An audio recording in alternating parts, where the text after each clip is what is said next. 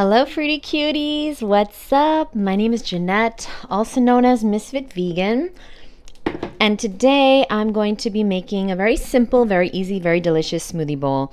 You need, okay, bananas.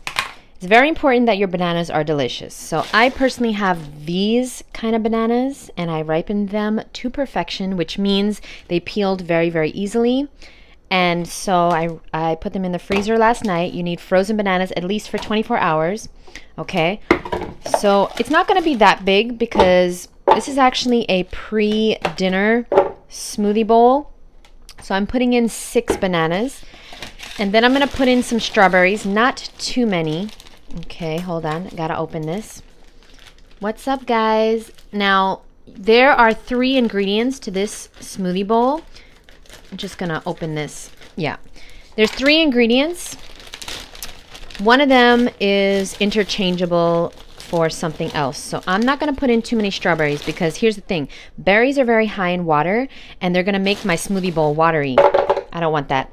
And I don't like too many strawberries. So personally, I have found maybe like four or five are good for me.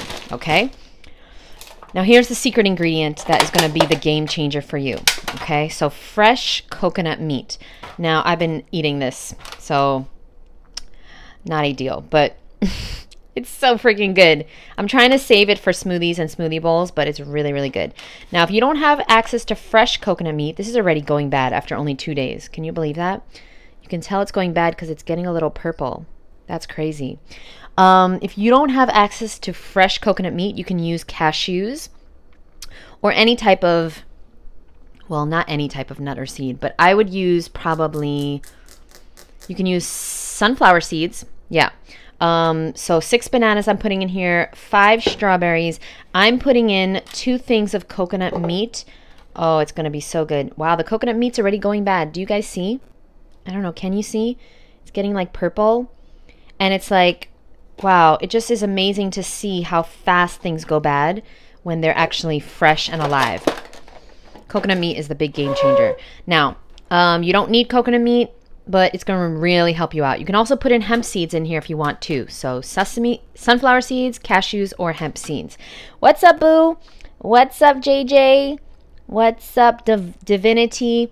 Um, we are going to blend it with a tiny bit of water because unfortunately, I don't have a fresh banana. These are not ripe. I have a bunch of bananas, but none of them are ripe, unfortunately. So I have to add a tiny bit of water, um, like the tiniest bit. To not put in too much water, I'm going to pour my water into a cup first so I don't put in too much. And I also have to show you guys something that's really cool that I ordered yesterday on Amazon. We're putting in a tiny bit of water. Not too much. It depends if you want nice cream or you want a smoothie bowl. You put in more water for smoothie bowls. We're going to top it with these, which I haven't had for years. These are unsweetened toasted coconut flakes. The ingredients is just coconut. They're amazing. You can find those on Amazon too. Uh, before I blend, I just want to show you guys real quick. I bought this on Amazon yesterday. So some of you guys know that once in a while I do have sleep issues, so I try to have chamomile tea.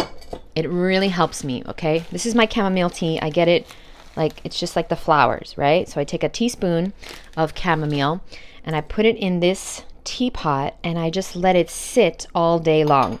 I don't heat it up and I just let it sit and then it infuses the water with the chamomile flowers and then if I want, I can heat it up, but you don't have to. And it's just so freaking cute. I love this little tea pot. I always wanted one. And you don't need to heat it up. You see, this is a way to have tea not hot if you don't want it. But if you want hot tea, there's nothing wrong with it too. I'm not a tea drinker. I'm trying to be one. I think it's pretty healthy, um, especially if you get the fresh tea, like the flowers and stuff. I wouldn't recommend tea bags it's been proven that there's like, I don't know. I don't know. I once heard somebody say that there was like shards of plastic, microplastics in the tea bags. I don't even know if that's true or not.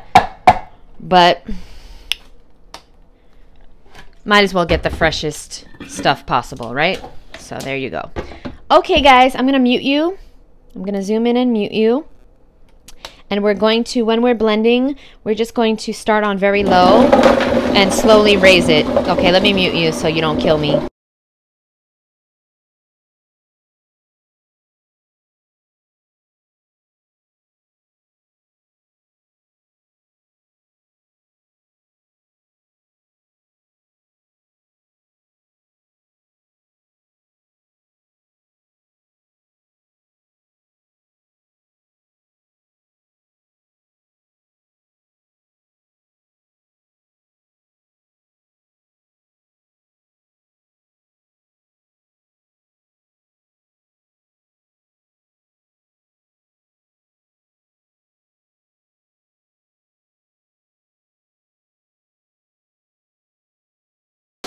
Okay, you don't need to blend for more than 30 seconds. Take it out, and I guess I didn't make a smoothie bowl. I guess I made nice cream, flip it over. That's how you know you have good nice cream. You also see the four peaks. Let me get a spatula so I can take it out. It's so good, and I swear to you, it tastes like strawberry shortcake. Hold on. Let me get a nice bowl. Let me try to find a nice bowl to put it in. How are you guys doing today? I'm on here just for a few more seconds, so if anybody has any questions, comments, concerns about a raw food diet, let me know, boo. All right, I can't find a nice bowl, so we're gonna go with that one. Any questions about a raw food diet? Let me know, boo. I just filmed like 10 videos, so I am hungry. Okay, so this is very small compared to what I usually do because I'm about to have dinner. So this is my pre-dinner. I always have a pre-dinner fruit meal. Usually like grapes or I don't know. Sometimes a smoothie bowl or an ice cream. Okay, it doesn't look as good as it's going to taste, but trust me. It's going to taste really good. We're putting some... My camera's dirty, I think. Is that what's going on here? No, it just doesn't look amazing. Okay, that's fine. We're going to put some coconut flakes on top. These are really, really, really good. No, they're not raw, so basically I'm a fraud.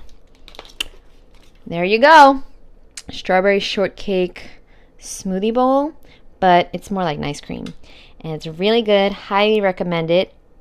You definitely don't need the coconut meat, but you need some type of fat to make it creamy and delicious. And hold on. I need to get a spoon.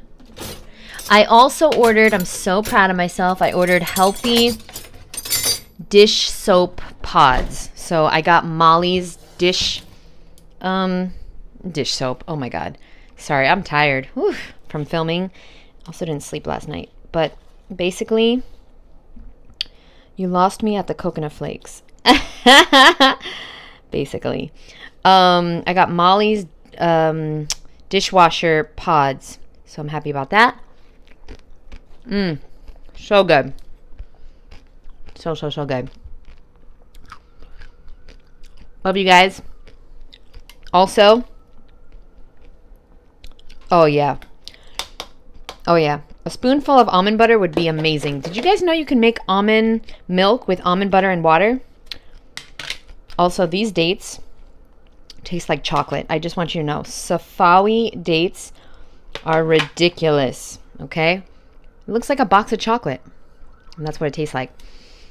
Thank you guys so much for being here. What's the name of the alkaline bananas? Thanks. Oh, yeah. The alkaline, ban the burro, right here.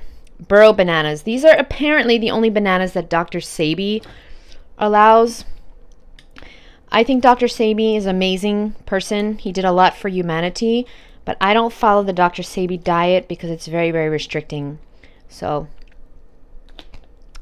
that's it. Love you guys. Bye.